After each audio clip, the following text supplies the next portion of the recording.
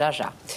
O Congresso Nacional está sob tensão. É o que mostra uma pesquisa que avalia a opinião dos parlamentares sobre o risco do presidente Jair Bolsonaro repetir no Brasil o que o ex-presidente americano Donald Trump fez nos Estados Unidos depois do resultado das eleições. A maioria dos principais líderes da Câmara e do Senado acredita em manifestações violentas e riscos à democracia.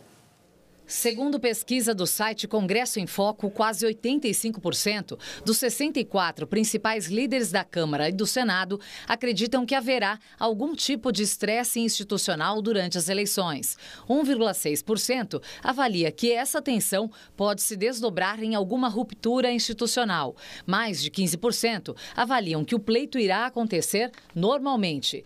31,25% dos parlamentares consideram pouco provável movimentos de contestação do resultado das eleições, enquanto quase 69% avaliam a possibilidade de incitação de movimentos populares em reação ao resultado do pleito. O receio é que se reproduza no Brasil o que aconteceu nos Estados Unidos depois do resultado da eleição presidencial de 2020 quando apoiadores do ex-presidente Donald Trump, derrotado no pleito, invadiram o Capitólio, sede do Congresso americano. Cinco pessoas morreram no confronto.